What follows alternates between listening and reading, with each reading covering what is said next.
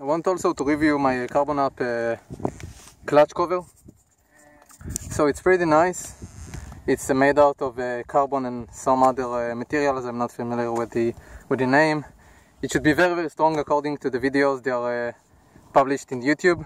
They they uh, did some tests with hammer and tried to punch him, punch it a lot of time and no cracks, no nothing. It just stays brand new.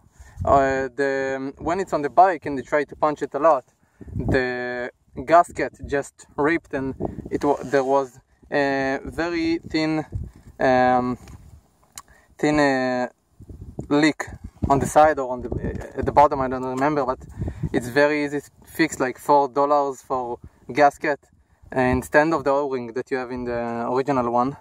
Uh, it should be very very tough and protect your uh, your clutch case engine case to get smashed by the rear brake or any rocks or any roots or anything else.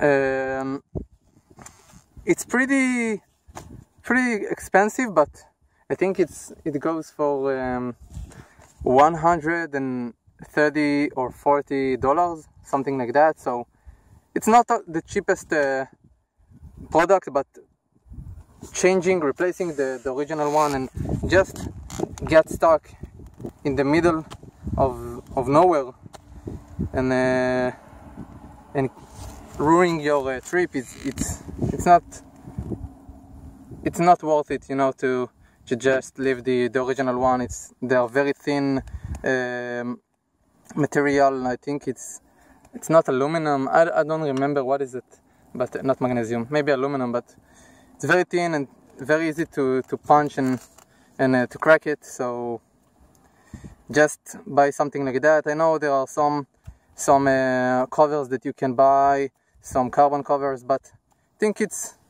it's it adds some blings to the bike and it's very nice and you can uh, always take it off and move it to your uh, new bike when you buy another one and sell yours. So I think it's a very very good product to buy and very nice investment